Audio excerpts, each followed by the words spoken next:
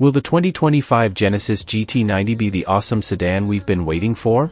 We're just speculating here, but Genesis has given plenty of hints during concept research and development that these Halo cars are coming soon. I did. Many of the world's leading luxury brands have made their name with two-door coupes and convertibles, or Halo cars.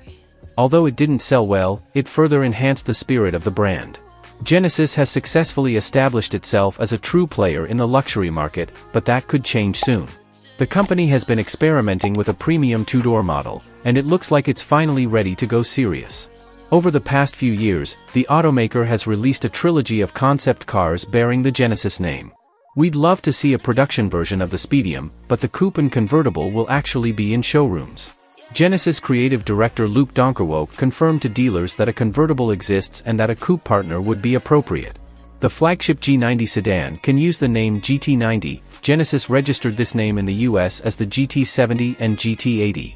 Oh, and Genesis only offers this model as an electric vehicle. Given that Genesis already has a gas-electric sedan, the electrified G80, with 365 horsepower and a range of 480 miles, it seems likely that the company's next-generation EV platform will offer both. To be competitive, the high-performance GT90 needs 500 horsepower and more than 300 miles of range. Genesis cars have traditionally focused on quiet interiors, subdued rides, and smooth powertrains rather than chasing MS or AMG around the world, making them more of a four-seater luxury car than a performance car it is expected that. Competitively, Mercedes has the SL, BMW has the 8 Series, and Lexus has the LC, but Genesis is aiming even higher. Genesis claims that with this new model, it wants to catch up with Bentley Continental GT customers. That may be the goal, but we suspect Gene will try to get the default price of $240,000 somewhere else.